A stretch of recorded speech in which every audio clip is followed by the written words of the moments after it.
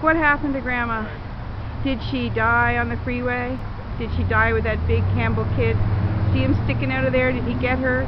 Did she die in the motel? One thing I know is that Grandma is dead. R.I.P. Grandma. Don't tell them she's only just gone, like those stupid Hallmark cards. Don't tell her that she's coming back. Grandma is dead, man. R.I.P. Grandma.